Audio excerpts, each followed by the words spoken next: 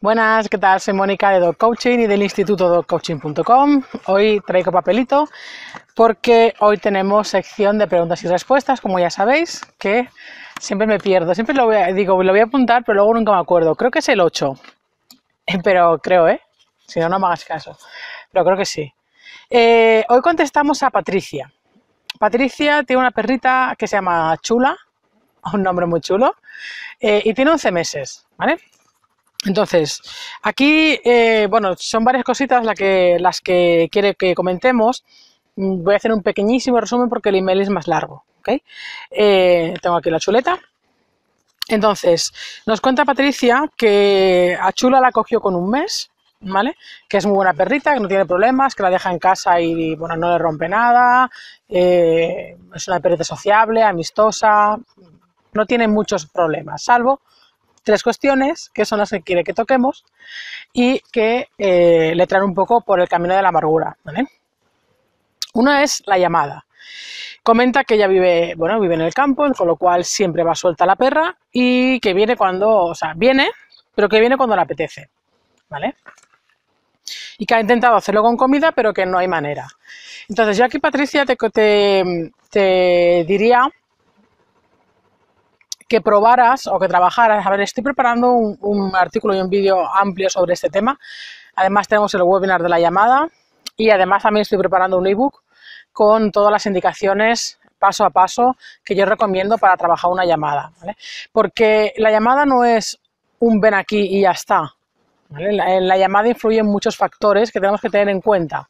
Entonces yo aquí no me puedo alargar para decírtelos todos porque estaría una hora, porque es, digamos que sería como el contenido del webinar, que es una hora donde lo explico todo, pero evidentemente no lo voy a explicar todo por aquí, pero sí que te diré que, por ejemplo, eh, pues trabajes con la cuerda. Esa es una de las premisas importantísimas que siempre cuando trabajo la llamada con algún perro, eh, siempre, siempre, siempre trabajo con la cuerda larga de entre 10 y 20 metros, mínimo de 10 si puedes, ¿vale? 5 se queda muy corta. De esta encontrarás correas de estas por todos sitios, por todas las tiendas, cada vez las hay más. Son cuerdas, correas de, adiestramiento de entre 10 y 20 metros. También pueden ser de estas de caballo, que para dar cuerda vendría a ser lo mismo. Mientras tenga un mosquetón, tira que te va, ¿vale? Como si te quieras hacer tú la cuerda. Eso no hay problema. Entonces, eh, ¿por qué digo esto? Porque es importante que cuando practiques la llamada, no le des la oportunidad al perro de que decida por sí mismo no venir. ¿Qué pasa? Que tú dices que siempre viene, pero que no viene cuando, digamos, a la velocidad que tú quieres.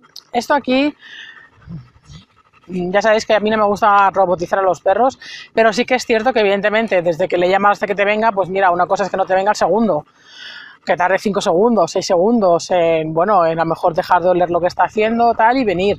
Otra cosa es que tarde 3 minutos en venir. Son cosas diferentes, ¿vale? Eh, entonces, por eso es bueno trabajar con la cuerda. ¿Por qué? Porque al momento que tú le llames, si, si tu perra no te hace caso en ese momento, sino que se toma su tiempo largo, pues tú con la cuerda le puedes, le puedes avisar en plan, hola, estoy aquí, ¿vale? Y si no viniera, la puedes invitar trayéndote la, mientras te la traes hacia ti. No digo que la arrastres, no se puede arrastrar, el tema es invitarla a que venga mientras tú vas recogiendo cuerda y luego le premias. Esta llamada la puedes hacer de diferentes maneras, puedes premiarla con comida, que ya sabéis que yo la comida no la utilizo mucho, pero bueno, antes de esto, por eso te digo que influyen muchas cosas, tendrías que ver cuál es la motivación real de tu perra, porque en función de, de qué motivación tenga la perra, la podrás, el premio o, con lo que tú motivas a tu perra será una, cosa u otra.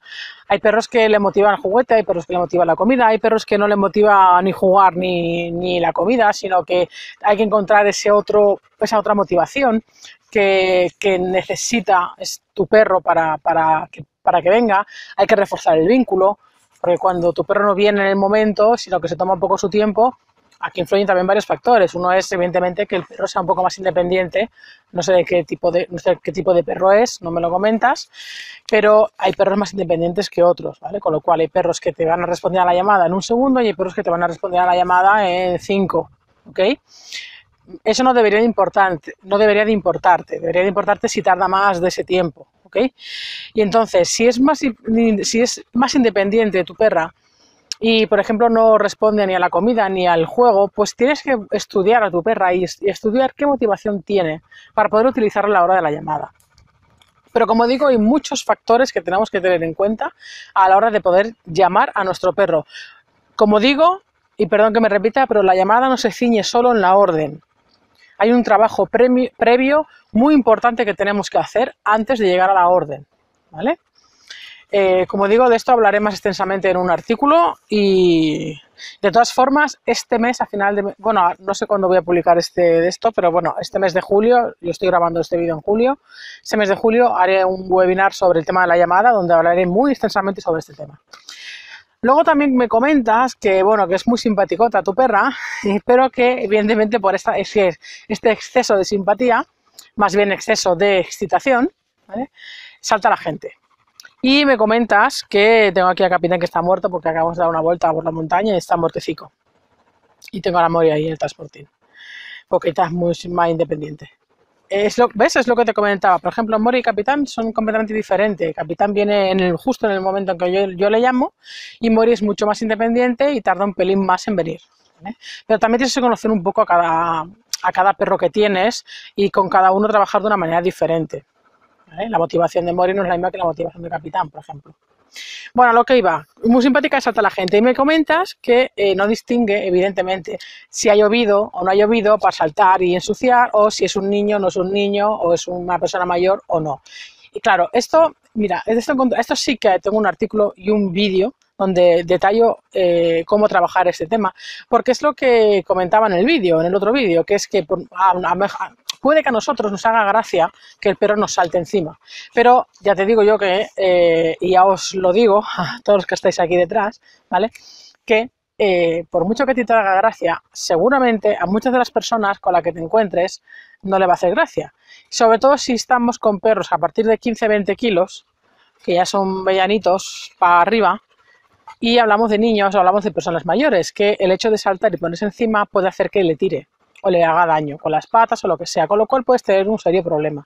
Entonces, mírate el vídeo y el artículo de esto de eh, cómo evitar que te, salte encima, porque em, lo explico con mucho más detalle, que ahora no me puedo tampoco extender mucho. Hay, hay varios trabajos previos. Uno de ellos es el que ya estás haciendo, que dices que cuando llega a casa y se excita, pues no le haces no le haces caso hasta que se relaja. Esto es una de las pautas que tienes que trabajar, pero no es la única. Yo te recomendaría que trabajaras mucho con ella el autocontrol y que trabajaras mucho con ella la calma.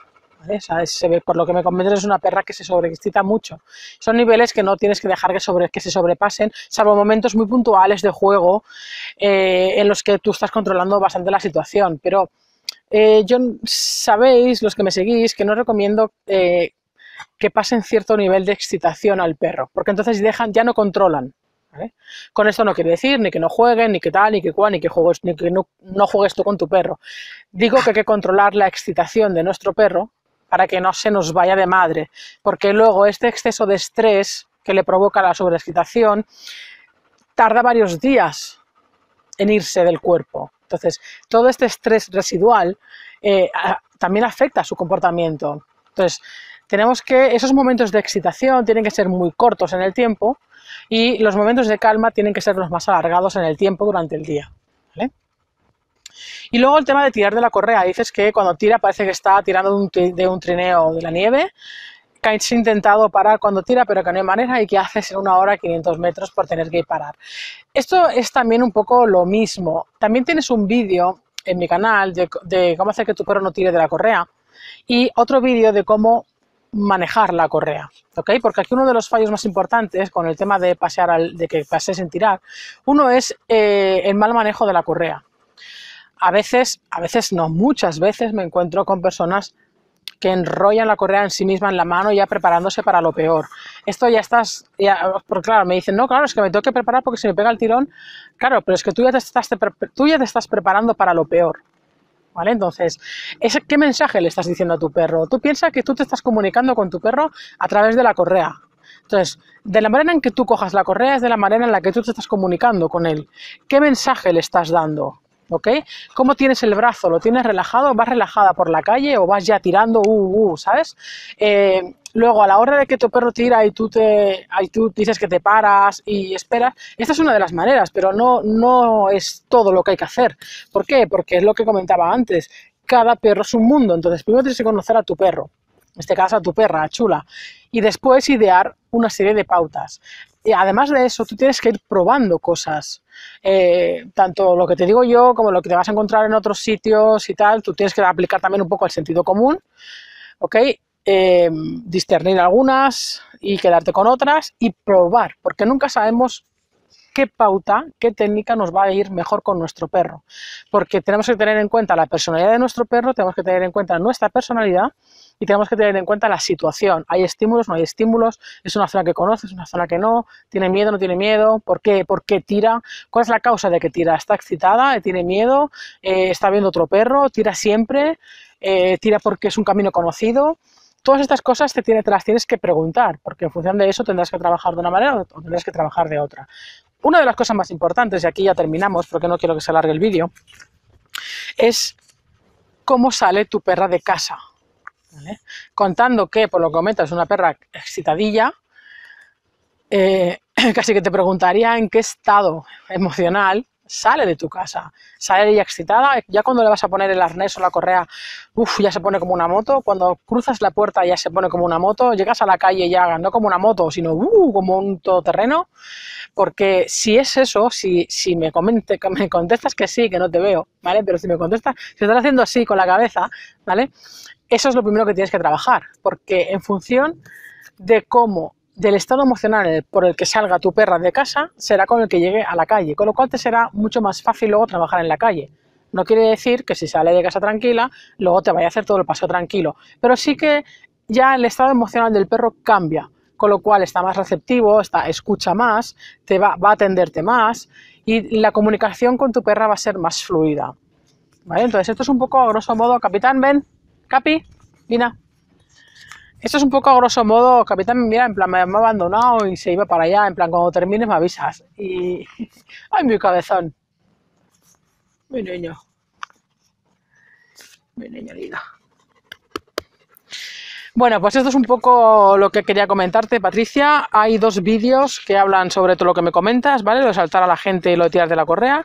Y con respecto a la llamada, pues eh, estate pendiente porque voy a hacer un, webinar y depende de cuando veas el vídeo, pues al igual incluso ya ha salido el ebook y ha salido también eh, un pequeño vídeo, ¿vale? Y nada, sabéis que si queréis eh, formar parte de esta sección de preguntas y respuestas o queréis leer los artículos que van asociados a los vídeos, podéis suscribiros en www.institutodogcoaching.com. Ahí te suscribes de forma gratuita, descárgate la guía que te regalo ¿ok? Una vez te descargas la guía, te llegará, eh, a los tres o cuatro días, te llegará el primer email, ¿ok? Mira, revisa todas las carpetas, de carpetas de, de no deseado, de spam, de promociones, de otros, etcétera, etcétera, etcétera. Además, sabes que una vez formas parte de la comunidad, no solamente te llegarán los emails de los artículos, sino que serás la primera o el primero en enterarte de absolutamente todas las novedades con respecto a la comunidad y podrás formar parte del grupo privado de Facebook, donde analizamos vídeos, hacemos cada semana un directo para contestar vuestras dudas y interactuamos un poquito más en directo. ¿Ok? Así que nada, Patricia, espero haberte ayudado un poquito. Eh, no puedo contestarte a las tres cosas de forma muy amplia, entonces busca este contenido que te comento y nos seguimos viendo por aquí por las redes, ¿vale? Si os ha gustado el vídeo, darle a me gusta, compartirlo, porfa, si veis que es de utilidad y sobre todo también suscribiros al canal de YouTube, porque si así os enteraréis de cada vez que yo subo un vídeo nuevo, seréis de los primeros en enteraros y es gratuito, ¿ok? Venga, pues hasta luego, chao.